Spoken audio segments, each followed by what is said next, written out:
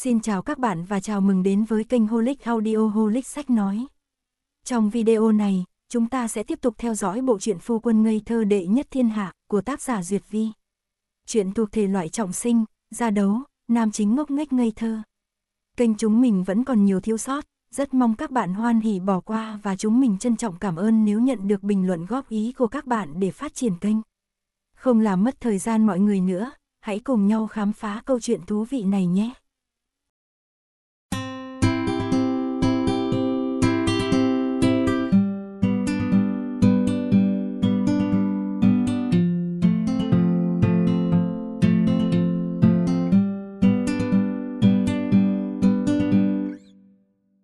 Chương 71, sự kiện dẫm đạp. Tết Thượng Nguyên, 15 tháng riêng âm lịch, còn gọi là Tết đầu năm, Nguyên tịch hoặc Tết đèn, là ngày Tết quan trọng nhất sau Tết âm lịch. Tập tục Tết Nguyên Tiêu mỗi nơi mỗi khác, nhưng ăn bánh trôi, ngắm hoa đăng, múa rồng múa sư vân vân là các tập tục dân gian quan trọng không thể thiếu. Kinh thành thuộc vùng Giang Nam, có tục lệ cũ là giật Nguyên Tiêu, là thủ phủ triều đình nên lễ mừng Nguyên Tiêu tất nhiên cực kỳ long trọng. Thập Lục Thân là nhân sĩ lâu năm ở Kinh Thành, trách nhiệm hướng dẫn tham quan đương nhiên rơi trên người nàng. Lại nói cái này, vạn ngọn đèn treo đắp thành núi đèn, hoa đăng pháo hoa, kim bích chiếu rọi, cẩm tú giao thoa. Các thiếu nữ xinh tươi ca múa, mọi người vây xem. Du khách đi dạo hai bên đường phố, ảo thuật kỳ lạ, ca múa tạp kỹ nối tiếp nhau, tiếng nhạc nhã tiếng huyên náo có hơn 10 dặm. Đường lớn ngõ nhỏ, trà lâu tử quán thắp đèn tứ phía, chiêng trống rộn rã, pháo nổ rền vang, đèn thắp trăm dặm không tắt. Khụ, đừng thấy công chúa nàng văn rốt võ nát nhé, người ta đầy bụng chữ nghĩa đấy. Người nào đó nguyên đêm hôm qua tụng hơn nửa quyển, kinh thành địa phương trí, vênh váo. Đám người Yến Hồng dẫn một hàng con nít đi dọc đường, luôn miệng kinh ngạc than thở, mắt tròn xoe miệng tròn vo. Tết đèn Di Lăng tất nhiên cũng náo nhiệt vô cùng nhưng so sánh với kinh thành, căn bản không thể xếp ngang hàng. Phong cảnh thế này, không, cải trang vi hành, giả làm dân thường, căn bản không thể nhìn thấy, cũng không cảm nhận được thú vui trong đó. Thập lục cười tủm tỉm giải thích ngắn gọn tất cả sắp xếp cho ngày hôm nay. Yến Hồng gật đầu tỏ vẻ đồng ý. Đông Phương Manh không nghe được hai người nói gì, mắt bận không sao đếm xuể rồi, nhìn trái ngó phải, đèn ngũ sắc lấp lánh ánh lửa, mặt hắn dường như cũng nhuộm màu rực rỡ. Nhiều người quá, còn đông hơn kiến lúc trời âm u nữa. Ví dụ của cây đuốc nhỏ làm người lớn bật cười, có điều nhìn thật đúng là biển người nườm nượp. Mẹ, mẹ, cái đèn nào của ông ngoại làm? Cái làn nhỏ không chịu cho người lớn bế, cứ hí ha hí hửng đòi đi cùng các ca ca. Thập lục sợ tính nó trẻ con chạy lung tung đành nhắm mắt theo đuôi dắt nó đi. Ây, cái lầu đèn lồng lớn nhất đó là do ông ngoại con sai người làm. Thập lục chỉ cho nó nhìn, bọn nhỏ đưa mắt nhìn theo, liền bị hấp dẫn ngay, hai con mắt đều không nỡ chớp, miệng tròn vo, nhất thời không nói. Trên đời này người ra tay hào phóng nhất không ai khác ngoài vua một nước. Hoàng đế cha thập lục vì lễ mừng nguyên tiêu này, đặc biệt ra lệnh thợ mộc làm một cái lầu đèn lồng khổng lồ, chứa đủ 20 gian phòng, cao 150 thước, ánh vàng lấp lánh, kỳ quan rực rỡ. Đông Phương Manh giống y bọn nhỏ, nhìn tới mức mắt không biết đường về luôn. Yến Hồng xem thế là đủ, nói đùa với thập lục, vẫn là cha tẩu hào phóng, cùng dân vui vẻ, mới là khoái lạc thật sự. Thập lục nhếch miệng, khụ, ta vẫn luôn muốn nói, kỳ thật cha ta thật phá ra. Yến Hồng cười mà không nói, thấy một chỗ bán kẹo viên bọc sữa bên đường, mùi thơm nước mũi khiến con sâu thèm ăn trong bụng nàng ngọ nguậy, nhịn không được lại mua một ít, cắn một miếng, lớp sữa mềm thơm, ngọt mà không ngấy, thừa lúc Đông Phương Manh không chú ý, dùng đũa trúc gắp một viên cho vào miệng hắn, hắn ngơ ngác ngậm kẹo ngoảnh đầu nhìn nàng, trong mắt có ngạc nhiên, quên cả nhai. Thập lục quay đầu nhìn, hồng hồng hay nha, nguội cho manh manh ăn, quá thiên vị. Các con, lên. Bầy khỉ con quần công tập thể, Yến Hồng cười liên tục năn nỉ, rồi mà rồi mà, ai cũng có phần, này, cẩn thận rớt. Sau một trận hỗn chiến, ai cũng được ăn. Khó khăn lắm Đông Phương Manh mới nhai xong viên trong miệng, lại phát hiện trong tay thê tử không còn viên nào, hai mắt tức khắc mờ xương, ánh mắt đáng thương, đừng nói người nhà, cả chủ sạp hàng kẻo viên cũng bất nhẫn, đang chuẩn bị đưa thêm vài viên cho hắn thì áo bông nhỏ dọc đường đi ngáp lia lịa nhón chân dơ viên kẹo lên muốn nhét vào miệng cha, cha, ăn. Áo bông nhỏ tuân theo nguyên tắc nhất quán từ sau khi nó biết nói, đó là ngắn gọn được bao nhiêu hay bấy nhiêu, dùng một chữ mà diễn tả được ý mình rõ ràng thì tuyệt đối không nói thêm chữ thứ hai. Mấy thằng làm ca ca thấy muội muội như thế, đua nhau noi theo, đều dơ viên kẹo đã cắn một miếng hoặc còn chưa kịp cắn ra muốn cha ăn.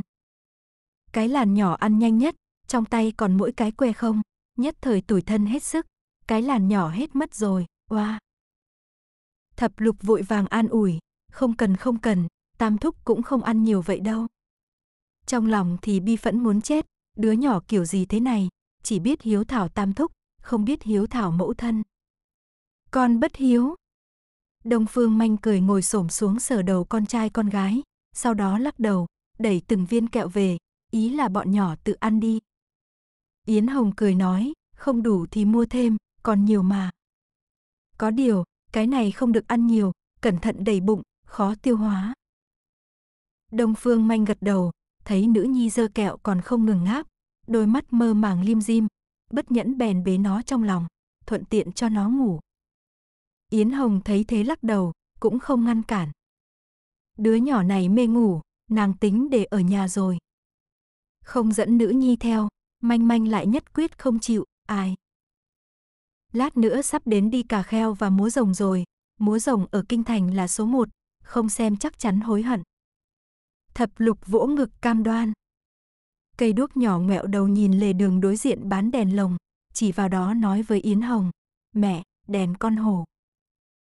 Lá cây nhỏ cũng nhìn thấy đèn lồng yêu thích, cũng gào lên, mẹ, mẹ, đèn con thỏ, lá cây nhỏ muốn. Ống thổi nhỏ già dặn nhìn theo hướng đó, không nói gì nhưng lại tập trung ở đèn con hổ oai vệ lâu hơn. Bọn trẻ đều thích, Yến Hồng cũng không muốn làm chúng mất hứng, đưa tiền cho gia đình đi theo sau, đi mua hai cái đèn con hổ, ba cái đèn con thỏ. Đợi gia đình đi rồi, nàng mới thấy Đông Phương Manh cũng nhìn qua bên đó nhiều hơn một chút, không khỏi buồn cười, lại sai nha đầu duy nhất đi theo là y nhân đi qua, mua thêm một cái đèn cá chép, màu đỏ thẫm ấy. Đông Phương Manh nhìn nàng, má lại mím ra hai lúm đồng điếu. Thập lục ở bên cười trộm, được rồi, chúng ta đi qua cái đài bên này trước đi, đội ca hát tạp kỹ sắp đến rồi, đi chiếm vị trí tốt. Yến Hồng nghĩ bụng, thập lục công chúa dành mấy trò chơi dân gian này thật, xem ra hồi xưa trốn cung ra ngoài không ít bận đây.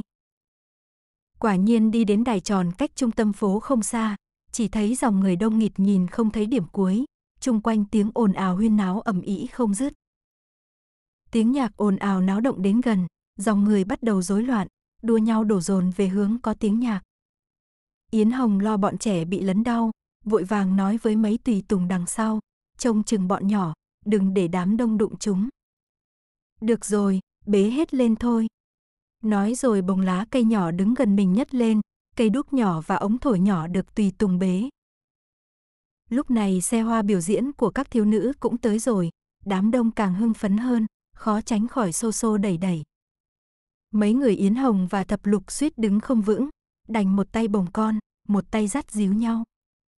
Yến Hồng còn phải thỉnh thoảng phân tâm chú ý Đông Phương Manh, trong lòng hơi sầu lo, vốn nghĩ đi ra xem náo nhiệt, kết quả bây giờ ốc còn không mang nổi mình ốc, sức đâu nữa mà xem biểu diễn. Khổ nỗi ghét của nào trời trao của ấy, một ông lão bên cạnh nàng dắt cháu đi theo đám đông cơ hồ đã bị cuốn vào trạng thái, trôi nổi, tới trước, kết quả cháu ông ta nhỏ con sức yếu, bị người ta chen ngã xuống đất, người đằng sau rút chân không kịp, đứa nhỏ bị đạp mấy cái, đau quá khóc oa oa. Ông lão sốt ruột mà không có cách, đành ngồi xổm xuống dùng thân mình che chắn cho cháu. Nhưng ông ta ngồi xuống thì dễ, muốn đứng lên lại khó. Do sự kiện này xảy ra đúng ngay trung tâm con phố dài 10 dặm, địa điểm biểu diễn của đội múa rồng và xe hoa thiếu nữ cũng ngay gần đó. Người nào cũng muốn chen lên chiếm vị trí tốt, xô đẩy nhau hỗn loạn vô cùng. Không biết là ai thét lên hoảng hốt, không ổn rồi, đạp chết người rồi. Yến Hồng vừa nghe là biết không xong rồi. Vốn đĩ người phía trước đã sắp ổn lại rồi, có người tốt bụng cúi xuống định đỡ ông lão và đứa bé lên. Tiếng hét này đúng lúc ghê, người không biết chân tướng càng muốn lấn tới xem náo nhiệt, xem đến tột cùng xảy ra chuyện gì. Phía trước đang thoáng một chút, đằng sau lại ùn ùn chen lên, chẳng những người tốt bụng kia cũng bị xô ngã xuống đất, mấy bà lão phụ nữ yếu đuối đều không chống nổi đằng sau xô đẩy, ngã hết xuống đất. Yến Hồng bất an xoay đầu nhìn về phía sau, cứ tiếp tục thế này sẽ thành sự kiện dẫm đạp như chơi. Nếu không sơ tán sớm, phạm vi liên lụy sẽ càng lúc càng lớn. Nàng vội vàng hét lên, mọi người đừng chen nữa, cẩn thận người già và trẻ em. Nhưng giọng nàng lại bị tiếng nhạc càng lúc càng lớn lấn át, người đằng sau vẫn đổ xô lên trước, người ngã xuống càng lúc càng nhiều. Đội múa rồng và xe hoa càng đến gần, dòng người bao vây vòng ngoài không biết chân tướng thấy phía trước nghẽn lại càng sốt ruột chen lấn nhau dồn lên. Yến Hồng thấy cứ tiếp tục thế này không ổn, còn không thoát thân sợ rằng bọn trẻ cũng bị thương. Vừa hay gia đình mua đèn cá chép lấn trở về, nàng vội vàng giao lá cây nhỏ trong lòng cho y, căn dặn, ngươi đưa thiếu gia nhỏ và công chúa, tam thiếu gia bọn họ chen ra trước rồi nói. Nhớ kỹ, thuận theo đám đông tiến về phía trước, không được đi ngược dòng. Lát nữa gặp nhau ở chỗ bán đèn. Cẩn thận an toàn. Nói xong đưa mắt ra hiệu cho thập lục, thập lục hiểu ý gật đầu, thả tay nàng ra, cùng gia đình ra sức men theo đám người chen ra ngoài. Đông Phương Manh đang ở một bên, theo sự di chuyển của đoàn người càng lúc hắn cách Yến Hồng càng xa. May mà công phu ngủ của áo bông nhỏ xưa nay không chịu ảnh hưởng bởi hoàn cảnh bên ngoài, chẳng có dấu vết bị quấy nhiễu tí nào. Hắn lo lắng nhìn Yến Hồng ra sức giúp đỡ ngăn cản đám đông đạp chúng ông lão, ra sức lấn tới gần nàng. Yến Hồng vội vàng hét lên với hắn, manh manh, đi trước đi, đừng đi vào trong, sẽ bị thương. Chờ Hồng Hồng ở chỗ bán đèn. Một mặt quát người trước mặt mình, truyền lời ra đằng sau, đừng chen lấn tới trước nữa, chen nữa sẽ có án mạng đấy.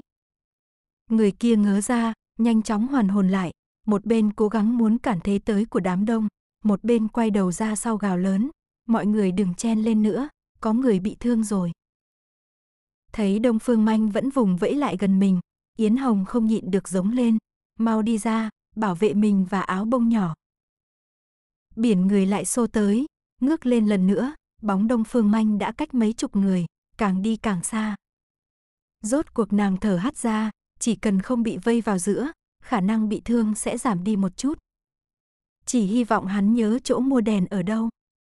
Tiếng gào thét một truyền mười, mười truyền trăm, lớp sóng đằng sau từ từ được khống chế, chỉ cần phía sau không xô đẩy, người đằng trước ngừng di chuyển, dẫm đạp từ từ khống chế được.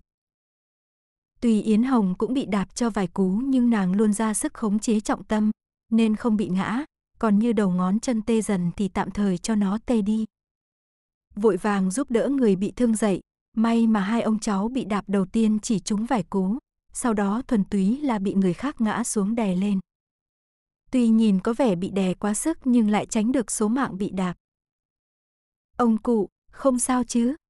Yến Hồng giúp đỡ ông ta phủi sạch bụi bám trên người, lại giúp kiểm tra tình hình bị thương của đứa nhỏ. May mà chỉ có mấy chỗ bầm tím và say sát, nhẹ nhàng nắn bóp chân tay thử, chắc là không bị thương tới xương. Đứa nhỏ quá hoảng, nói không nên lời, chỉ nức nở túm chặt ống tay áo ông nội. Cảm ơn phu nhân cứu giúp, lão không sao, cảm ơn cảm ơn. Rốt cuộc ông lão thở hổn hển, nỗi sợ hãi thoát chết sau tai nạn khiến lúc ông ta cảm ơn thì lòng vẫn còn khiếp hãi. Yến Hồng và mấy người tốt bụng khác giúp đỡ người bị thương đến chỗ thông thoáng hơn một chút, lại tốn một lúc an ủi họ, băng bó. Đợi khi nàng thoát thân được, hội họp cùng người nhà thì lại phát hiện, thập lục và bọn nhỏ đều đầy đủ, thậm chí cả áo bông nhỏ còn giúp trong lòng y nhân ngủ. Chỉ có cha bọn trẻ, không thấy đâu. chương 72, manh manh bị lạc.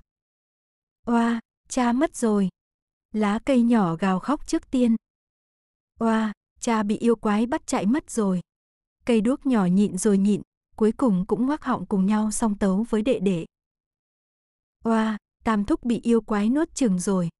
Cái làn nhỏ đẩy sự thật đi ngoằn ngoèo càng lợi hại hơn, đương nhiên, cũng rót thêm nốt mới cho bản song tấu của hai huynh đệ. Ống thổi nhỏ không nói một tiếng, nhưng hốc mắt càng lúc càng đỏ, môi mím càng lúc càng chặt đã tố cáo nó đang ở bên bờ vực bùng nổ. Dưới nền nhạc như ma âm xuyên não này mà áo bông nhỏ vẫn không động đậy, tiếp tục gục đầu ngủ, không chút lo lắng cho cha nó. Y nhân thở ra, rốt cuộc tiểu tổ tông này không hành hạ thêm gì, trước mắt đã đủ loạn lắm rồi, lại thêm một đứa không bớt lo nữa, nàng nghĩ thôi cũng đau đầu thay tiểu thư. Yến Hồng ngẩng đầu, không nói gì hỏi trời xanh. Ông trời à, chẳng lẽ ông chê tướng công nhà ta đi lạc còn chưa đủ bi kịch hay sao? Nhị tẩu, tẩu đưa bọn nhỏ về trước tìm người giúp đỡ. Muội và bọn họ tìm chung quanh đây trước, có kết quả hay không cũng tập họp ở đây. Yến Hồng cố gắng bình tĩnh lại, nói cho mình không thể nóng ruột, chắc hẳn manh manh muốn quay lại tìm nàng, men theo đường về ban nãy mà tìm, nhất định có thể tìm được, nhất định. Thương lượng với thập lục sắp xếp tiếp sau đó xong, Yến Hồng liền cùng mấy gia đình chia nhau mỗi người đi tìm một hướng. Thập lục và y nhân dẫn một dây con nít khóc bù lu bù loa về phủ báo tin. Mọi người trong hầu phủ nghe Đông Phương manh lạc mất xong liền nổ tung. Đông Phương Ngọc lập tức điều một đội tinh binh mặc thường phục lên phố tìm người, mặt khác phái người báo tin cho Đông Phương Tề đang bị thái tử triệu kiến trong cung, để hắn mượn thái tử mấy ám vệ đi tra những nơi ngõ xó tối tăm, tránh cho Đông Phương Manh bị bọn lưu manh bắt gặp hoặc bị người lường gạt. Đường lúc cả nhà vì Đông Phương Manh mất tích mà nóng ruột như ngồi trên đống than thì, Đông Phương Manh lại giống con ruồi mất đầu đi loạn trong biển người. Không khác với điều Yến Hồng đã nghĩ lắm, sau khi giao áo bông nhỏ cho y nhân, hắn càng chờ càng sốt ruột, càng sốt ruột càng không thể tiếp tục ở nguyên chỗ cũ mà chờ. Vì thế thừa lúc mọi người không chú ý, tự mình lén quay lại tìm Yến Hồng.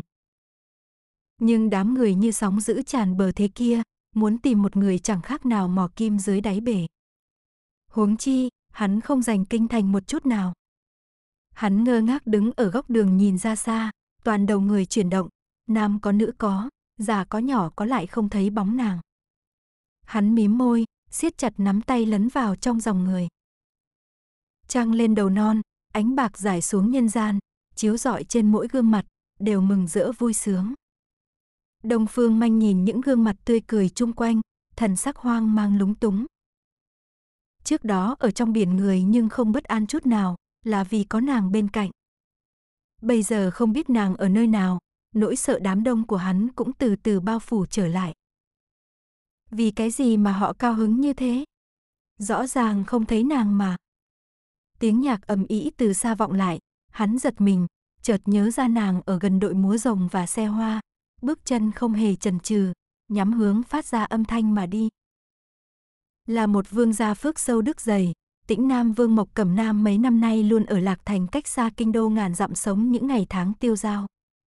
Tuy rằng tuổi quá 30 vẫn chưa thành thân, nhưng là đệ đệ ruột mà đương kim thánh thượng yêu thương nhất, là đứa con út đương kim thái hậu yêu chiều nhất, hắn tự nhận tiếc nuối nho nhỏ này càng có thể nâng cao giá trị của hắn. Có lẽ vì Hoàng huynh sắp thoái vị, thế nên mới càng lúc càng dày già, chê mỗi tháng viết một bức thư dài ngoãng thuyết giáo còn chưa đủ, cách một vài năm vào dịp Tết còn cố ý chịu hắn về kinh giáp mặt dạy dỗ một trận. Thân là nam nhân nhất định phải cưới vợ sinh con. Phong lưu hào phóng không kém Phan An như hắn, danh sĩ đích thực một đóa hoa lê áp hải đường, nếu thành thân sinh con như thế tục, vậy thiếu niên khắp chiều đau lòng biết bao.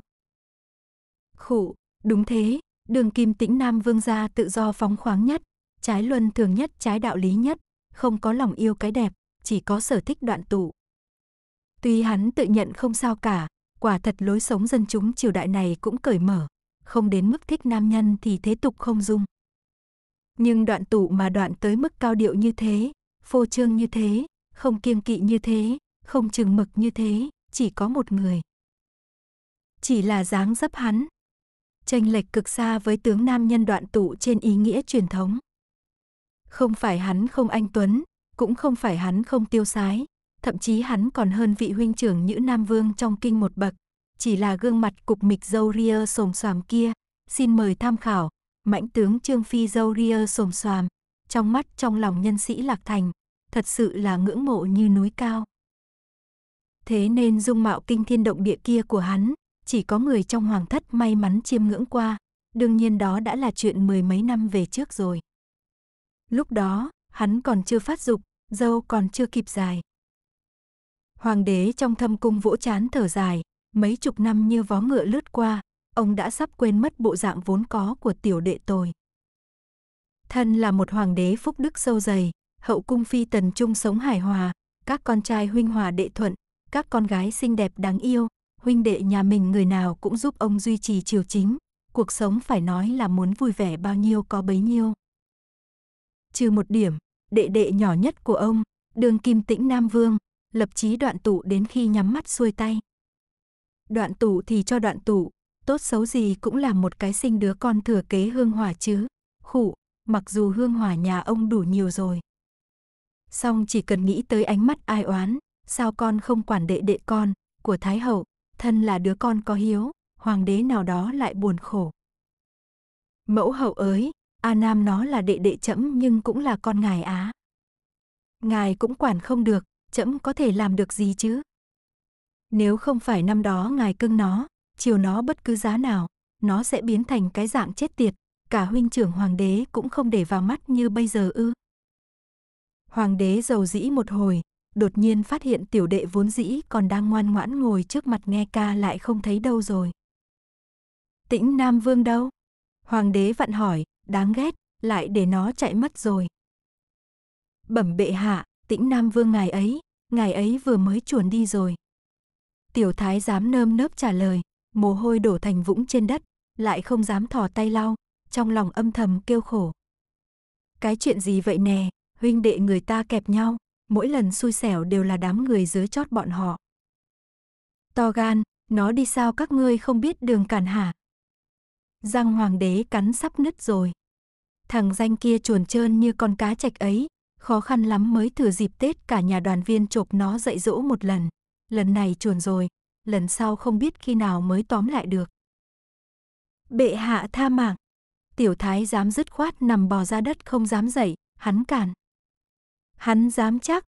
Lúc đó hắn cản, hoàng thượng có thể dạy dỗ thoải mái cả người rồi, sau đó con tép như hắn còn không bị lột mấy lớp da.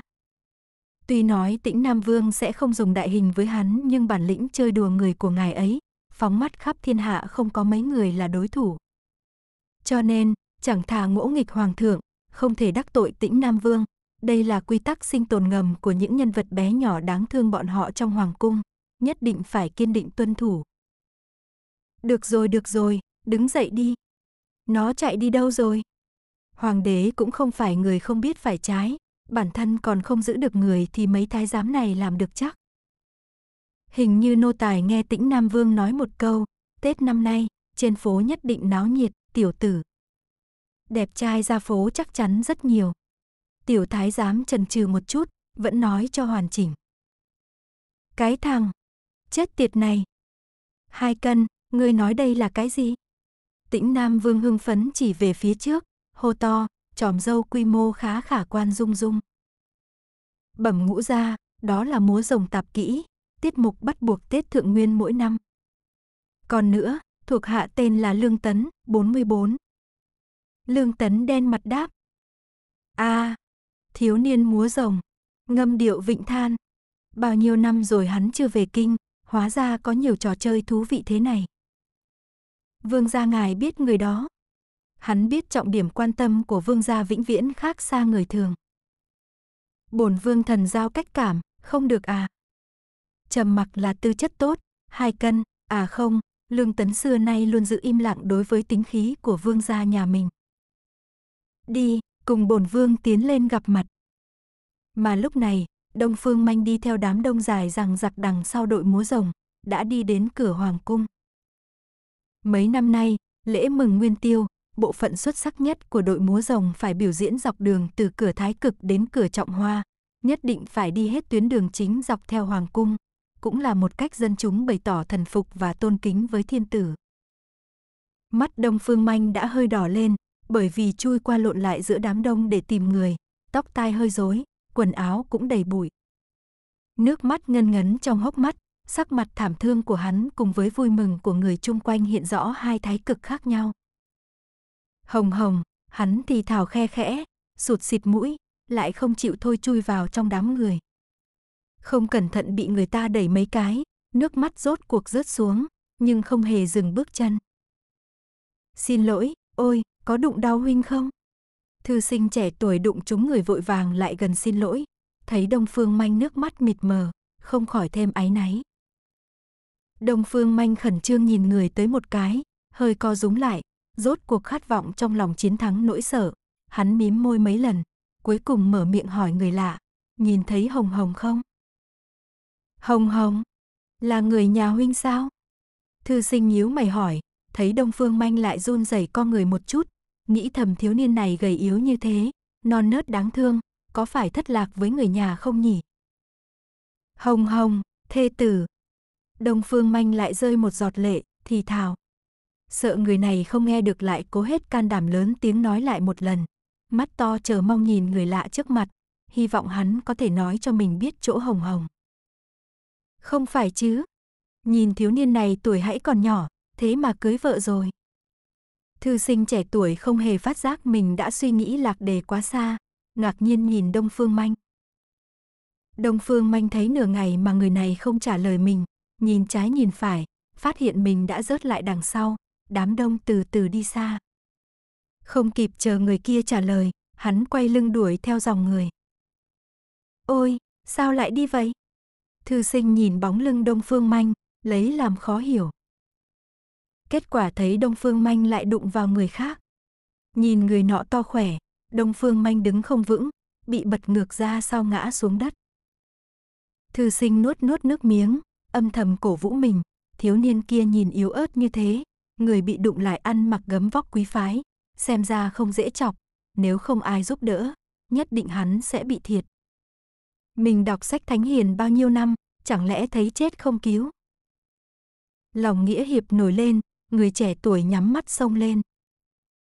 Ê, dừng tay, có gì từ từ. Cái đó.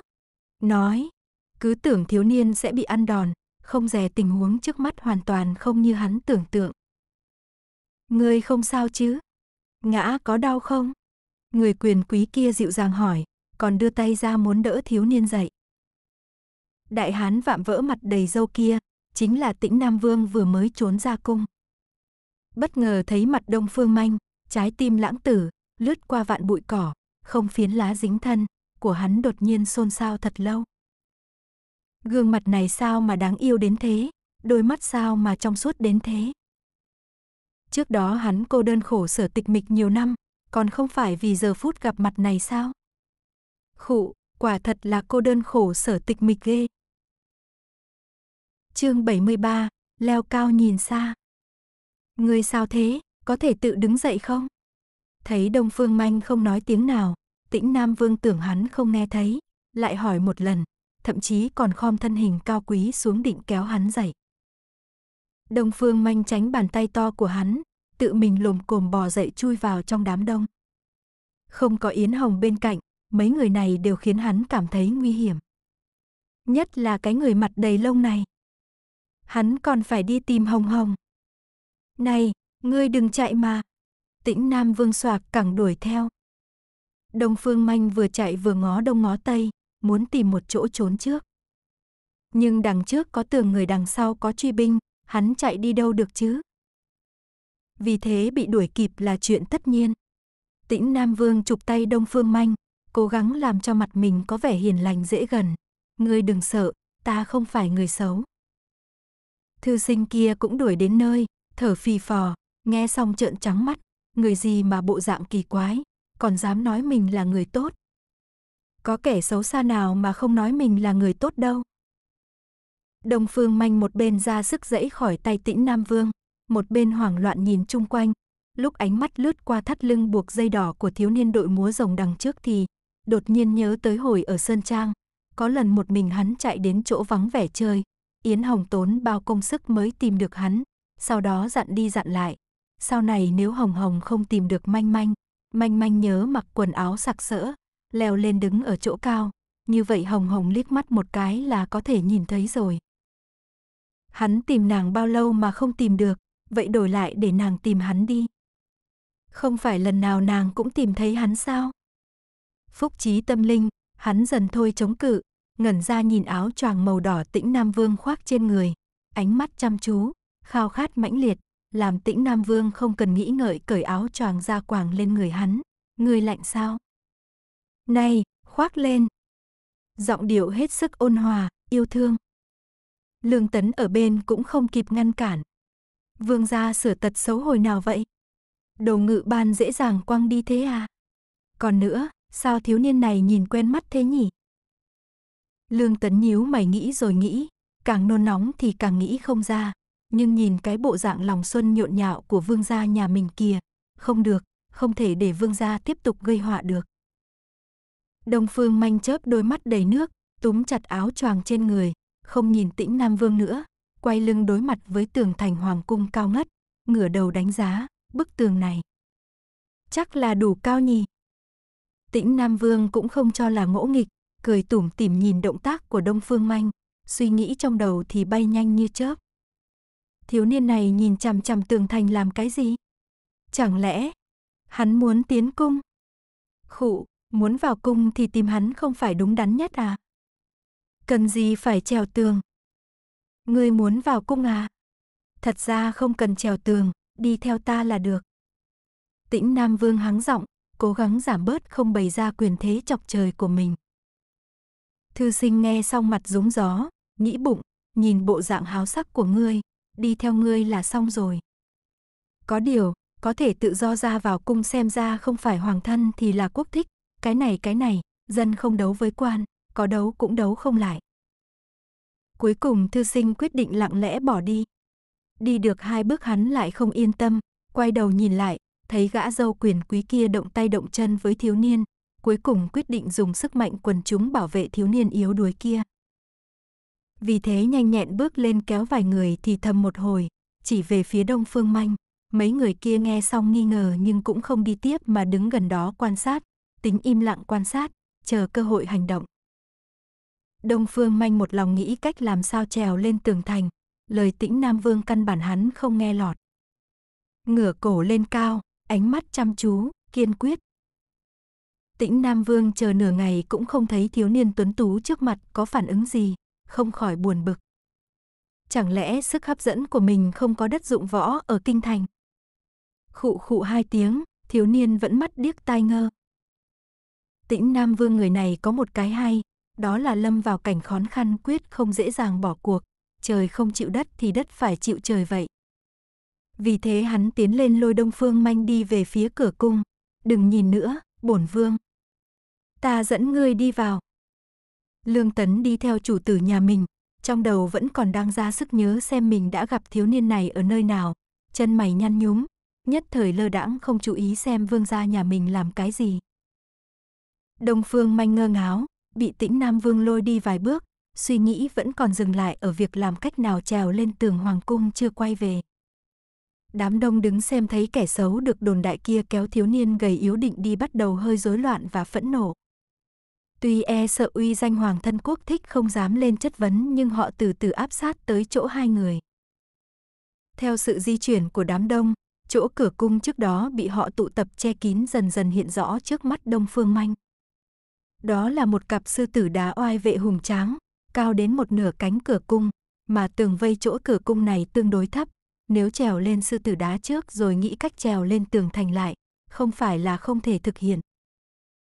Đông Phương Manh nhìn chòng chọc sư tử đá nửa ngày, không tự chủ được nở nụ cười mỉm, khiến tĩnh Nam Vương nãy giờ vẫn nhìn hắn đến ngây người lại càng say đắm. Sao mà cả nụ cười cũng đáng yêu thế này? Kế đó Đông Phương Manh dẫy khỏi tay tĩnh Nam Vương, hí ha hí hửng chạy tới chỗ sư tử đá. Tĩnh Nam Vương nhất thời không chú ý bị hắn thoát được, ngớ người nhìn hướng hắn chạy, chờ thấy hắn bắt đầu dùng cả tay lẫn chân bám lấy sư tử đá trèo lên thì, ngây như phỗng đực. Thiếu niên này cũng to gan thật, sư tử trước cửa hoàng cung mà cũng dám trèo. Không thấy người vừa dắt tay hắn à? Nhìn là biết quyền quý trong kinh, thiếu niên này chắc chắn có chỗ dựa. Dám trường gia cảnh không phải vương công thì là quyền quý. Mọi người bắt đầu đua nhau bình phẩm, chỉ chỉ trò trò hành vi của Đông Phương Manh. Tạp âm chung quanh không lọt được vào tai hắn, bởi vì mối bận tâm duy nhất của hắn hiện giờ là làm thế nào trèo lên sư tử đá. Mồ hôi trên mặt chảy xuống, hai tay trà vào đá đau nhói, hắn vẫn không để ý, trong đầu duy nhất chỉ có một niềm tin, nhất định phải trèo lên đó. Sau nửa khắc, Đông Phương Manh vẫn còn ôm đùi sư tử, cách mặt đất chừng vài thước, còn trượt lên trượt xuống mấy lần, lại trèo lên lại. Thế nhưng hắn không tức tối, cứ như không nhìn thấy máu ứa ra tay, tiếp tục trèo lên. Người này là đồ ngốc à? Sư tử cao như thế, lại không có thang, sao hắn trèo lên được chứ? Không biết ai phì cười một tiếng, mọi người phá ra cười, thậm chí thư sinh chuẩn bị giải cứu Đông Phương Manh ban đầu kia cũng cảm thấy Đông Phương Manh không bình thường. Tiếng cười giống của đám đông làm tĩnh Nam Vương giật mình hoàn hồn, cẩn thận lắng nghe tiếng bình phẩm của họ, không khỏi cau mày. Không biết vì sao, nghe thấy đứa nhỏ này bị cười nhạo, trong lòng hắn thấy không vui. Lạnh lùng liếc đám đông một cái, bọn họ bị khí thế mạnh mẽ của hắn dọa cho câm như hến. Thấy Đông Phương Manh lại trượt xuống đùi sư tử lần nữa, hắn nhíu chặt mày, tiến lên, không nói câu nào túm hắn cùng nhảy lên sư tử đá. Đám đông, ồ, lên kinh ngạc, công phu giỏi quá. Tĩnh Nam Vương nhăn mày, xé một góc áo định băng bó cho Đông Phương Manh, không dè Đông Phương Manh vẫn phớt lờ hắn, lại vươn hai tay ra định trèo lên tường thành. Đứa nhỏ này sao cố chấp với tường thành hoàng cung thế? Chẳng lẽ cảnh đẹp nhìn trên cao càng đẹp hơn? Cũng không cần phải phớt lờ thân thể mình như thế chứ. Nhưng thấy dáng vẻ cố chấp không đạt được mục đích thì không thôi của Đông Phương Manh, Tĩnh Nam Vương đánh dắt hắn nhảy lên tường thành lần nữa. Rốt cuộc Đông Phương Manh đến được chỗ mình muốn đến, hắn cao hứng nhìn xuống dưới, có thể thấy được cảnh đường phố thật xa thật xa, nước ngân ngấn nơi mắt sớm đã bị gió thổi khô, chỉ còn lại chờ đợi ngập tràn trong mắt. Hắn lấy áo choàng đỏ bọc kín người mình, sau đó ngồi thẳng xuống, bắt đầu nhẫn nại chờ Yến Hồng tới đón.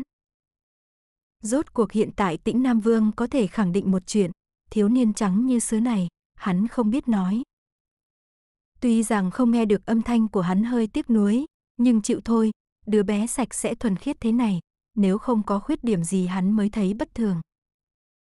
Đến hôm nay tĩnh Nam Vương mới phát hiện, hóa ra đứng trên tường thành Hoàng Cung, có thể nhìn xa như vậy. Hắn đứng trên cao đã lâu, ngược lại bỏ qua cảnh sắc đơn giản nhất trực quan nhất. Phía trong bức tường một chút sắc xanh, ngoài tường một tiếng cười khẽ, dường như đều là dấu hiệu mùa xuân. Ngươi vui không? Tĩnh Nam Vương không nhất định phải nhận được đáp án của Đông Phương Manh, bởi vì hắn có thể cảm giác được, cái vẻ nặng nề trước đó từ từ biến mất trên người thiếu niên này. Hắn ngồi xuống sát Đông Phương Manh, bộ râu sồm che mất nụ cười của hắn, nhưng có thể nhìn thấy đôi môi mọng của hắn cong lên. Đột nhiên hắn cảm thấy, thiếu niên này là ai, tên gì, có nói chuyện được hay không, những chuyện này không quan trọng, quan trọng là hiện tại hắn cùng ngồi với mình. Đông Phương Manh xem Tĩnh Nam Vương như không tồn tại, hắn chỉ ngơ ngác nhìn về hướng trung tâm phố. Tĩnh Nam Vương không nói nữa, cũng yên lặng ngồi trên đầu tường, nghe tiếng gió thổi, ngửi mùi thơm nhàn nhạt, trong không khí bay tới. Đông Phương Tề vừa nghe nói đệ đệ bảo bối nhất của mình mất tích trên đường, lập tức cáo từ thái tử hấp tấp chạy ra ngoài cung. Vừa ra cung lại phát hiện ngoài cửa có không ít dân chúng tụ tập, nhăn mặt vừa chen ra ngoài vừa nói, xin nhường đường, cho qua một chút. Bụng nghĩ những tình huống đệ đệ có thể gặp phải, lo lắng không thôi. Xưa nay tiểu đệ không thích người lạ, lỡ đâu sợ hãi thì làm sao? Trước nay tiểu đệ không thích mang theo tiền, lỡ đói không có tiền mua đồ ăn thì sao đây? Xưa giờ tiểu đệ ngây thơ hiền lành, lỡ bị kẻ xấu bắt mắt thì làm sao? Trăm ngàn ý tưởng, càng nghĩ càng khiếp đảm. Lỗ tai đột nhiên nghe thấy một tiếng hét lớn vừa kinh ngạc vừa mừng rỡ. Vương gia, ngài mau đưa người xuống đi. Hôm nay lúc hoàng hôn thuộc hạ đã gặp người này trong cung rồi, đó là chi kỷ của thái tử điện hạ, quan ích lang đông phương tề đó. OMG, ta đặt cái tước hiệu này làm chi rồi lần nào cũng gõ nhầm thành quan ích nhũ. Vốn đông phương tề đang gấp rút đi tìm đệ đệ, tự dưng nghe thấy tên mình, không khỏi sửng sốt, không nhịn được đi tới chỗ có tiếng kêu. Nhìn rồi thì không đi đâu được nữa, trên đầu tường cao cao, mặc y như trái bóng hồng, dù hai chân xuống ngồi ngay đó, không phải tiểu đệ thân yêu bị đồn mất tích của mình, Đông Phương Manh thì còn ai nữa. chương 74, cùng nhau trèo tường. Trăng lên giữa trời, ánh trăng như nước, tường thành cao cao sừng sững, người trên tường vui vẻ thoải mái, người dưới tường chỉ chỉ trò trò. Tĩnh Nam Vương vừa ngạc nhiên vừa mừng hô lớn với Lương Tấn dưới tường thành, người nói hắn là Đông Phương Tề. Lương Tấn gật mạnh đầu, Đông Phương Tề chính cống đơ mặt, đây là tình huống gì? Dâu sồm ngông cuồng tìm khắp kinh thành cũng không thấy bộ thứ hai khiến Đông Phương Tề sực nhớ tới một người khiến cả triều văn võ nghe tới là biến sắc, tức thời mặt lạnh như xương. Tuy người này nổi tiếng bên ngoài nhưng Đông Phương Tề không muốn có bất cứ dây dưa nào với hắn. Đông Phương nhị công tử nổi tiếng khắp kinh hóa ra phong thái tướng mạo thế này, quả nhiên chăm nghe không bằng một thấy. Tĩnh Nam Vương nhìn gương mặt Đông Phương manh dưới ánh trăng có vẻ trong suốt, thở dài than. Đệ đệ ruột của Đông Phương Ngọc Anh Minh thần võ, hắn mộ danh đã lâu. Nghe nói hắn cưới cháu gái thập lục, hu. Hận không gặp lúc chưa cưới. Cho nên vương gia mau đưa người xuống đi. Lương Tấn sắp bị lời khuyên bảo tận tình của chính mình cảm động rồi. Vốn định lên nhận đệ đệ, Đông Phương Tề nghe Lương Tấn nói câu này thì dừng chân, nghĩ chính mình trói gà không chặt, ít nhất đợi người kia đưa đệ đệ xuống hãy nói. Cháu rể tiểu tề, lâu không gặp thập lục rồi. Tĩnh Nam Vương phớt lờ Lương Tấn khổ tâm khuyên nhủ, cứ sán lại gần bắt chuyện với Đông Phương Manh. Hắn nghĩ, đồn đãi Đông Phương Tề trời sinh thông minh, miệng lưỡi, cực kỳ nhanh trí chứng tỏ người trước mắt không phải không biết nói mà là không muốn nói thôi. Có điều nói đến danh hiệu công chúa của cháu gái, vị phò mã gia này cũng sẽ nể mặt hắn vài phần chứ. Vị vương gia nào đó vì bắt chuyện với thiếu niên xinh đẹp đã dở hết mọi mánh khóe ra rồi. Chẳng qua hắn không thể ngờ, người trước mắt không phải Đông Phương Tề, còn Đông Phương Tề chân chính thì chỉ cách vài thước. Gió đêm một mình lạnh, tĩnh Nam Vương sầu đứt ruột. Chẳng lẽ chiêu này không xài được? Xem ra nha đầu thập lục kia trước mặt phò mã nhà mình cũng chẳng vui được bao nhiêu nha. Khụ, thằng nhãi Đông Phương Ngọc kia cũng quá đáng thật, đệ đệ đáng yêu như thế mà không giới thiệu cho hắn, lần này thì lợi cho cháu gái thập lục rồi. Đông Phương Manh căn bản không quan tâm người này đang nói chuyện với mình hay với ai, tóm lại hắn đã đạt được mục đích, hiện tại trừ việc chờ Hồng Hồng yêu dấu tới đón ra, tất cả những thứ còn lại trước mặt hắn ngang hàng với không khí. Tĩnh Nam Vương không hết hy vọng tiếp tục lôi kéo làm quen, tiểu tề đệ đệ, đệ không biết ta cũng bình thường. Nhớ năm đó ta và ca ca đệ đánh lộn, khủ, cái thời thân thiết ấy, đệ còn bé bằng hạt đậu, không ngờ mới chớp mắt một cái đệ đã lớn vậy rồi. Vẫn im lặng, Đông Phương Manh vẫn tặng cho hắn một bên mặt xinh đẹp. Bên dưới đã có người không nhịn được phì cười ra tiếng. Tĩnh Nam Vương hung hăng trừng mắt xuống dưới, đáng tiếc vẻ mặt hung tợn kia bị hàm dâu che hết, lại có bóng đêm yểm trợ, tiếng cười nho nhỏ kia rốt cuộc lan ra thành công khai cười nhạo. Mà lúc này, Đông Phương Tề đã hết kiên nhẫn chờ rồi. Bởi vì hắn phát hiện tĩnh Nam Vương này căn bản không có ý thả đệ đệ xuống. Ngàn tính vạn tính, không ngờ manh manh lại bị hạng người thanh danh bê bối này bám lấy. Hoàng thượng cũng thật là, vị này cứ tai họa nhân dân lạc thành thì thôi đi, còn chịu hồi hắn về tai họa dân kinh thành làm gì? Đáng ghét nhất là hại ai không hại, lại nhè vào tiểu đệ ngây thơ hồn nhiên đáng yêu của hắn trước mắt chỉ có bộc lộ mình trước, sau đó nghĩ chiêu khác. Đông Phương Tề tham kiến tĩnh Nam Vương gia. Đông Phương Tề cung kính hành lễ với người trên tường cao, thuận tiện công bố thân phận của dâu sồm với công chúng. Tĩnh Nam Vương giật mình suýt nữa rớt xuống tường. Hắn trợn mắt nhìn Đông Phương Manh bên trên lại nhìn Đông Phương Tề bên dưới, ngáo ra nửa ngày cuối cùng dặn được một câu, người mới là Đông Phương Tề. Đông Phương Tề nghiêm trang gật đầu, vâng. Hắn không phải. Mắt phóng phi đao về phía Lương Tấn dưới tường do thông tin tình báo sai mà đang ra sức ẩn thân. Lương Tấn kỳ thật cũng rất uất ức nhé, hắn cũng không ngờ lại phát sinh sự trùng hợp lâm ly thế này. Hiển nhiên không phải. Đông Phương Tề ra sức nuốt châm chọc trở về bụng, trong lòng khinh bỉ. Vậy hắn là ai?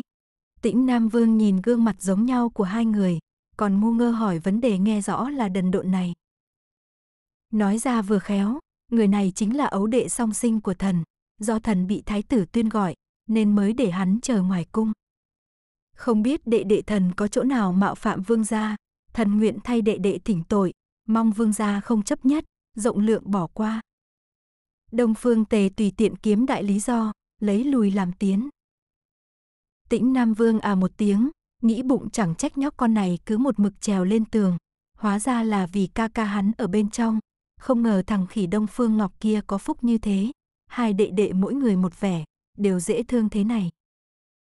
Nghĩ đến đó, Tĩnh Nam Vương làm bộ rộng lượng phẩy tay, cười ha ha, nếu các ngươi đều là đệ đệ của Đông Phương Ngọc, vậy cũng coi như đệ đệ của bổn vương. Nói gì mà đắc tội hay không, bổn vương và đệ đệ vừa gặp đã quen, nói chuyện. Cực vui, chỉ là còn chưa kịp hỏi tên lệnh đệ thôi. Nói xong còn tặng cho Đông Phương Tề một cái nhìn nóng bỏng.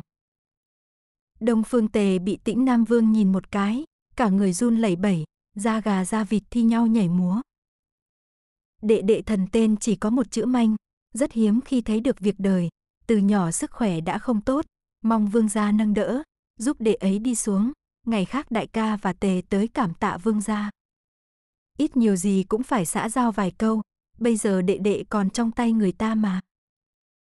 Tuy không ôm hy vọng gì, Đông Phương Tề vẫn gọi Đông Phương Manh, tiểu đệ, manh manh, nhị ca ở đây, mau xuống đi.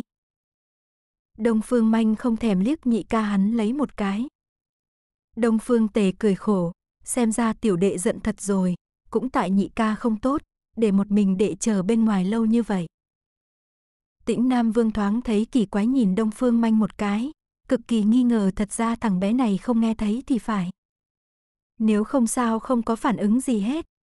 Chẳng lẽ không phải đệ đệ của Đông Phương Tế? Nhưng cái mặt này, chứng cứ sờ sờ đấy. Nhị ca ngươi gọi ngươi kìa, sao ngươi không lên tiếng? Tĩnh Nam Vương không nhịn được nói giúp, hai người cùng một gương mặt nên thấy ai tuổi thân hắn đều không nỡ hết. Đông Phương Manh tiếp tục duy trì tư chất tối cao. Tĩnh Nam Vương không thôi, hỏi tiếp, hay là, bổn vương đưa ngươi xuống trước? Đằng nào nhị ca ngươi cũng tới rồi. Hắn nghĩ, trước tiên giúp hai huynh đệ đang gây gổ làm lành trước, dù sao cũng coi như giúp một lần, sau nãy mọi người qua lại cũng có tình cảm nền tảng. Tính toán như thế, hắn duỗi tay ra định đưa Đông Phương Manh xuống. Đông Phương Manh vẫn rất nhạy cảm với hoàn cảnh sắp có thay đổi, tránh tay Tĩnh Nam Vương, thiếu chút ngã xuống, may mà Tĩnh Nam Vương lanh tay lẹ mắt kéo trở lại. Đông Phương Tề kinh hoàng thiếu điều rớt tim, người vây xem cũng ầm ĩ một trận. Tĩnh Nam Vương cũng đổ mồ hôi, thấy Đông Phương Manh rõ ràng không muốn xuống, cũng không dám dùng sức mạnh, đành tiếp tục ngồi trên tường với hắn, thuận tiện giải thích với Đông Phương Tề bên dưới, hình như hắn không muốn xuống đâu. Đông Phương Tề cười khổ chắp tay với Tĩnh Nam Vương, lại ngước mặt nhìn tường cao. Đông Phương Tề không muốn để lộ chứng tự bế của đệ đệ trước mặt người khác, khổ cái hiện tại một người trên cao một người dưới thấp, không sao nhìn thẳng vào mắt Đông Phương Manh, muốn giao tiếp xem ra thật khó. Thoáng suy tính, hắn túm một người xem náo nhiệt bên cạnh nói nhỏ, làm phiền ngươi tức tốc đến phủ Uy Viễn Hầu tìm Uy Viễn Hầu Đông Phương Ngọc, mời ngài ấy nhanh chóng đến cửa thái cực. Nếu trong phủ có tam thiếu phu nhân, tốt nhất mời tới luôn. Nói là tam thiếu gia đang ở đây. Nói xong nhét cho người nọ một nén bạc, người kia mừng rỡ nhanh chóng chạy đi. Đông Phương Tề đảo mắt, tìm thấy Lương Tấn, bước tới chắp tay, vị huynh đệ này là thị vệ vương gia phải không? Vừa rồi là hắn ở bên dưới kêu. Lương Tấn hoàn lễ, thuộc hạ Lương Tấn, bái kiến quan ích lang. Không cần đa lễ, không biết huynh đài có thể dẫn tại hạ lên đó. Tại hạ ở dưới này nhìn, thật hơi lo lắng. Lương Tấn vui vẻ giúp đỡ. Vì thế đầu tường lại mọc thêm hai người. Quần chúng mới tới coi không biết sự tình lấy làm lạ, mấy người đó là ai thế? Đầu năm nay thịnh hành mốt leo tường à? Tường gì không leo chuyên leo tường hoàng cung vậy? Thế là dẫn tới một màn thảo luận nhiệt liệt, tạm thời không nói. Đông Phương Tề leo tường như ý, nói với Lương Tấn, cảm ơn Lương Huynh. Lương Tấn cười, tự giác nhảy qua một bên tĩnh Nam Vương, lặng lẽ tìm chỗ ngồi xuống, cùng nhau thưởng thức cảnh đêm. Manh manh, Huynh là nhị ca. Đông Phương Tề kéo tay Đông Phương Manh, thấy mắt hắn chuyển hướng về phía mình, vội vàng nhìn thẳng mắt hắn, mỉm cười nói. Đông Phương Manh nhìn Đông Phương Tề một cái, lại ngoảnh mặt đi nhưng không rút tay ra. Tĩnh Nam Vương nhìn mà ngứa ngáy, hắn cũng muốn hưởng thụ đãi ngộ như vậy cơ. Đông Phương Tề nhẹ nhõm thở ra, tiểu đệ không hất mình ra, vậy là được rồi. Còn vì sao hắn trèo lên tường lại không chịu xuống thì chờ người nhà tới lại xác nhận. Trước mắt làm bạn với hắn đã. Khụ, Đông Phương Tề à, này. Manh tiểu đệ hắn. Có chướng ngại ngôn ngữ. Thật ra tĩnh Nam Vương không có ý gì khác, đơn thuần là tò mò thôi nhưng rõ ràng hắn cảm giác được mình bị người ta hung hăng chừng cho một cái. Tiểu đệ chỉ là tâm trạng không vui, khi hắn không vui thì không thích nói chuyện. Đông Phương Tề bực bội đáp. Ố, có cá tính, bổn vương thích. Tĩnh Nam Vương không hề phát giác, câu này của mình làm hai người biết rõ đức hạnh của hắn bao gồm Đông Phương Tề và Lương Tấn nghe xong kinh khủng cỡ nào. Đông Phương Tề quyết định kê thúc mạnh chút, tỏ vẻ thân thiết hiểu ý nói với Đông Phương Manh, "Manh Manh, có phải nhớ đệ muội không? Vậy chúng ta đi xuống tìm đệ muội được không?" Câu này không cần Đông Phương Manh hồi đáp bởi vì chủ yếu là nói cho Tĩnh Nam Vương nghe. Vị vương gia này tuy thích Nam Nhi nhưng có một nguyên tắc, nam tử đã có hôn phối hoặc có gia thất rồi hắn không dính vào. Quả nhiên Tĩnh Nam Vương nghe xong la oai oái, hắn cũng thành thân rồi. Cưới ai? Chẳng lẽ là thập thất? Nhưng không phải năm nay con bé mới 13 sao? Mấy đứa cháu gái này sao đứa nào cũng dành của thúc thúc mình thế này? Không biết kính trọng người già, kính trên nhường dưới gì hết. Đông Phương Tề nhịn cười nói, tiểu đệ và đệ muội thành thân nhiều năm rồi, đứa nhỏ lớn nhất đã 6 tuổi rồi. Vẻ mặt tĩnh Nam Vương cứ như gặp phải ma nhìn Đông Phương Manh chằm chặp, lắp ba lắp bắp, nhưng... Nhưng... Nhìn hắn đâu có lớn dữ vậy. Mặt tiểu đệ nhìn trẻ con mà thôi, thực tế đã hơn 20 rồi.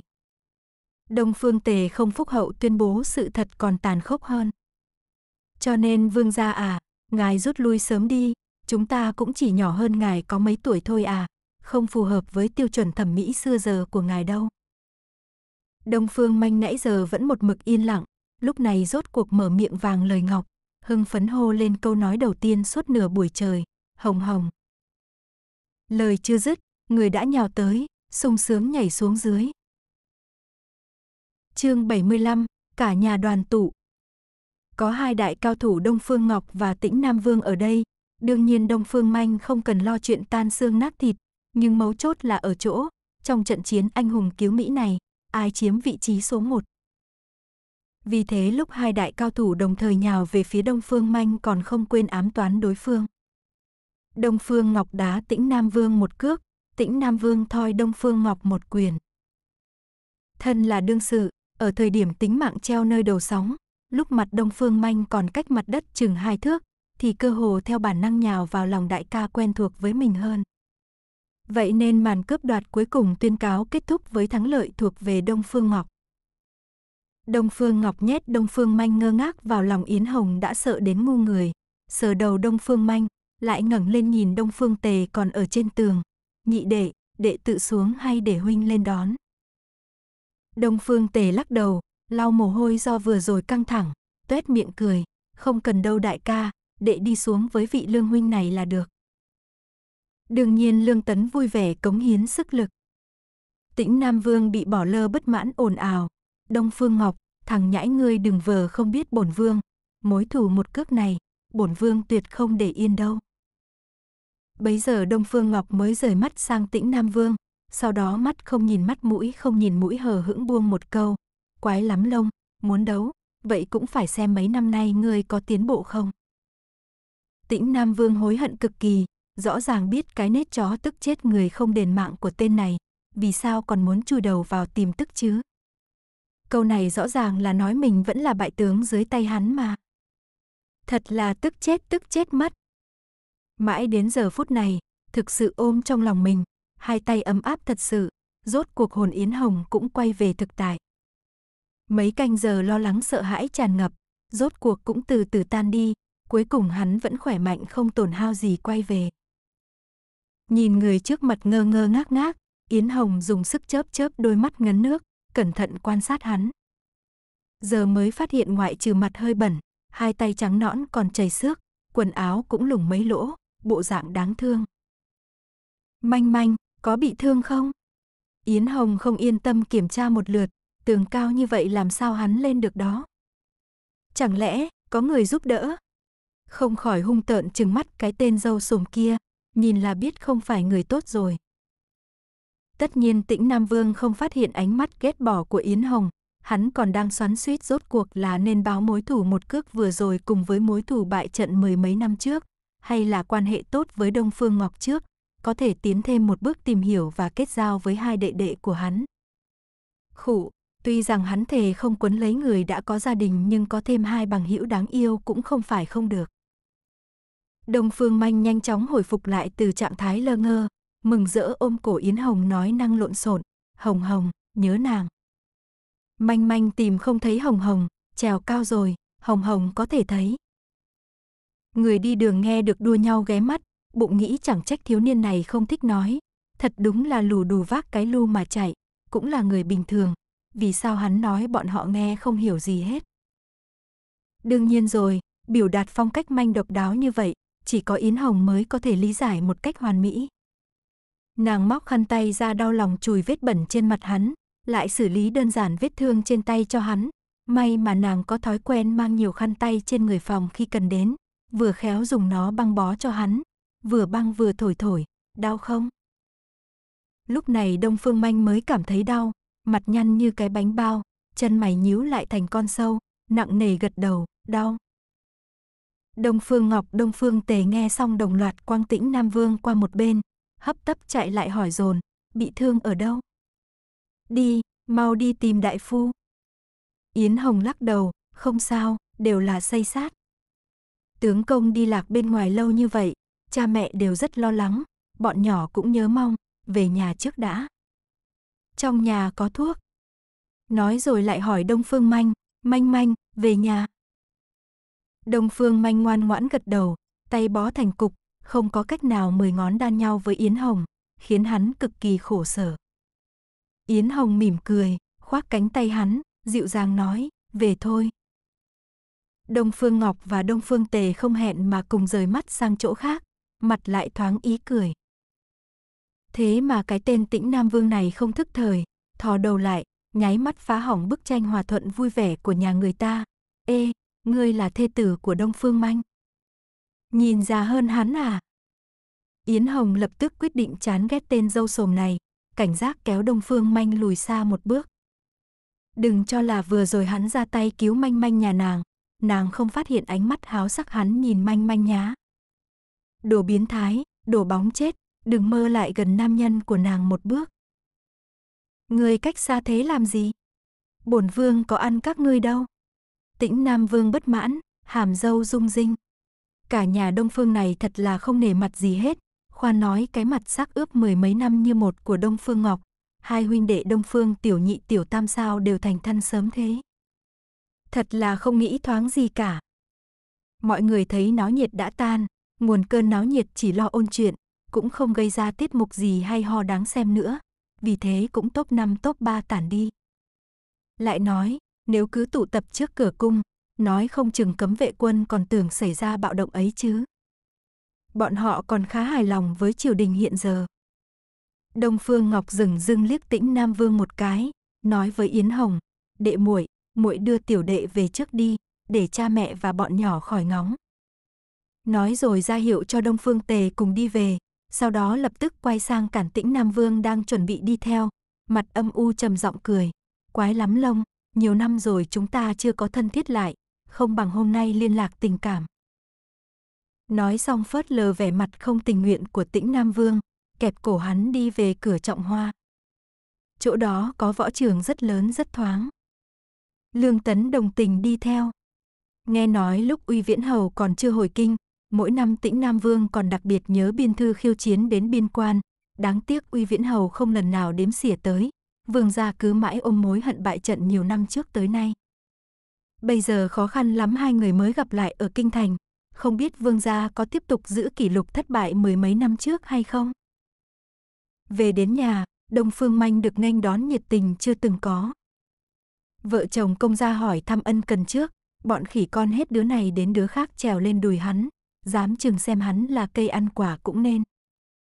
Đáng giá nhất là, áo bông nhỏ sau khi thức dậy nghe nói cha mình mất tích, tuy không khóc lóc ầm ĩ như các ca ca nhưng không chịu ngủ nữa mà bắt cái ghế nhỏ ngồi ngay cửa lớn, muốn chờ cha về là người nghênh đón đầu tiên. Đông Phương Manh chỉ biết cười ngốc nghếch, căn bản không biết trải nghiệm vừa rồi của mình thật sự là thoát khỏi miệng hùm hang sói. Yến Hồng sai người đi lấy thuốc cao, cẩn thận tỉ mỉ rửa mặt cho hắn, lau tay, bôi thuốc. Lúc Đông Phương Manh trèo lên sư tử chẳng có cảm giác gì, bây giờ cảm giác đau từng mất đi đua nhau quay về, hắn vừa kêu đau oai oái vừa nước mắt lưng tròng. Mấy đứa nhỏ xót cha, bò mọt một bên phát ra tiếng ui, ui, theo tần suất run rẩy của Đông Phương Manh, hận không thể chịu đỡ thay. Áo bông nhỏ, con bé này không nói thì thôi, hễ mở miệng là chọc mẹ nó tức một trận, mẹ, nhẹ chút. Yến Hồng không nhịn được chừng con, nghe đi nghe đi, giọng điệu đó cứ như nàng ngược đãi tướng công mình ấy. Có điều động tác càng lúc càng dịu dàng hơn. Lá cây nhỏ trước nay ngoan ngoãn hiền lành nhất, sớm đã sán lại, phùng má giúp cha vù vù, phun cho Đông Phương Manh một tay nước miếng. Đông Phương Manh không để ý, một bên nước mắt nước mũi ròng ròng, một bên dùng bàn tay đã băng bó xong sờ đầu con tỏ ý cảm ơn. Con hiếu thảo quá, làm cha thật là kiêu ngạo, mặt mày ngời ngời, khụ, mấy cái bong bóng kia tạm thời bỏ qua không tính. Lá cây nhỏ thổi một hồi hết hơi, đổi lại huynh đệ tỉ muội khác thay phiên ra trận. Yến Hồng cũng biết bọn trẻ muốn làm chút gì đó cho phụ thân, thành thử không ngăn cản. Vợ chồng công gia và những người khác nhìn nhau cười, đều lặng lẽ rút lui. Đông Phương Manh đã gặp Nguy Hòa An, bình an trở về, họ cũng yên tâm được rồi, nên nghỉ ngơi thì nghỉ ngơi, không muốn nghỉ thì chơi Tết tiếp. Thập lục chuẩn bị dắt cái làn nhỏ âm thầm rút lui, kết quả nhóc con nghiêm mặt cự tuyệt, mẹ, cái làn nhỏ còn chưa giúp tam thúc vù vù, không đi được. Mẹ, mẹ không có lòng đồng tình gì cả. Khi không bị chụp cái mũ bự xuống đầu, thập lục nghẹn họng không nói nên lời, cuối cùng không chỗ chút giận, đành liều mạng nhéo thịt cha nữ nhi để an ủi. Đông Phương Tề vừa nhe răng nhếch miệng vừa nghĩ, nữ nhi này sao giống như cho nhà tiểu đệ nuôi quá. Manh manh đói không? Yến Hồng cởi quần áo bẩn nhăn nhúm cho Đông Phương Manh, đổi lại quần áo bông mặc nhà sạch sẽ thoải mái. Đói. Đông Phương Manh khụt khịt mũi. Về đến nhà, về đến bên cạnh người thân thuộc, tuổi thân uất ức của hắn tới càng lúc càng nhanh, đầu ngón tay bị bọc riêng thành từng cái gậy thô, hắn xòe ra cho bọn trẻ xem mới lạ. Vừa nghe Yến Hồng hỏi, lập tức sờ bụng. Vậy ăn bánh trôi và sủi cảo nhé. Yến Hồng hận không thể nhét cơn đau của hắn vào tim. Tiểu ngốc này, một khắc cũng không rời nàng được, kỳ thật nàng còn không giống thế sao? Ừ. đông Phương manh gật đầu, dùng bàn tay thô kịch vụng về kéo nàng lại, vùi đầu vào bụng nàng rụi rụi, nhỏ giọng nỉ non, hồng hồng đừng bỏ manh manh lại một mình. Rất hiếm khi Đông Phương Manh nói một câu liền mạch hoàn chỉnh thế này, Yến Hồng nghe mà chua xót. Chuyện hôm nay xét ra là do nàng không suy nghĩ chu toàn, không có tính đến tâm tình của hắn. Lúc đó nàng hãm thân trong vũng lầy, sao hắn yên tâm được? Lén lút đi tìm nàng là tất nhiên rồi. Ngày Tết êm đẹp như thế, lại sinh ra chắc trở thế này, vợ chồng hai người tách rời vài canh giờ, nàng hối hận ảo não khôn xiết, cũng càng lúc càng lo lắng, lỡ như có một ngày, nàng rời bỏ thế giới này trước hắn, hắn phải làm sao đây?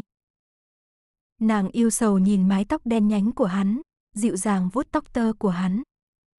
Xưa nay nàng không thích sầu lo chuyện còn chưa xảy ra, bây giờ không biết vì cớ gì, cứ luôn lo được lo mất. Đúng lúc này, cây đúc nhỏ dẫn đệ đệ muội muội giống như một sâu bánh tét đi tới. Cây đúc nhỏ vỗ ngực hùng hồn, "Cha, cha đừng sợ, chờ cây đúc nhỏ lớn rồi là có thể bảo vệ cha." Mấy đứa khác gật đầu như dã tỏi, ngay cả áo bông nhỏ xưa nay không tham dự loại bày tỏ tập thể này cũng gật cái đầu cao quý của nó theo. Vì thế sầu lo tràn ngập trong lòng Yến Hồng thoát cái biến mất tâm. Nàng mỉm cười vỗ nhẹ nhẹ bờ vai Đông Phương Manh, kéo hắn ngồi lại bên bàn. Tay hắn không thể nắm, cần nàng đút ăn. Mấy đứa nhỏ cũng đua nhau giơ đũa dâng bánh trôi mình thích lên, Đông Phương Manh vui lòng nhận hết. Bọn trẻ còn nhỏ như vậy đều có quyết tâm muốn bảo vệ người chúng để ý như thế. Nàng là người lớn có trái tim kiên cường, cần gì cứ buồn lo vô cớ. Nghĩ quá nhiều, chẳng giúp ích được gì, chỉ có nỗ lực sống tốt mỗi ngày, tận lực giảm bớt tiếc nuối của bản thân, đã có người yêu kề vai sát cánh, vậy thì tương lai cho dù xảy ra chuyện gì, chỉ cần cả nhà họ bên nhau, tất cả mưa gió cùng nhau gánh vác. Bả vai hắn tuy gầy yếu, lúc nàng dựa vào lại ấm áp, chưa từng tránh né. Cho dù đến ngày sinh mạng kết thúc, nàng cũng sẽ không buông tay hắn ra, vô luận là ai đi lên con đường đó trước, trên cầu nại hà, nhất định chờ đợi. Khoảnh khắc này, rốt cuộc Yến Hồng học được sức mạnh của hạnh phúc và lòng tin.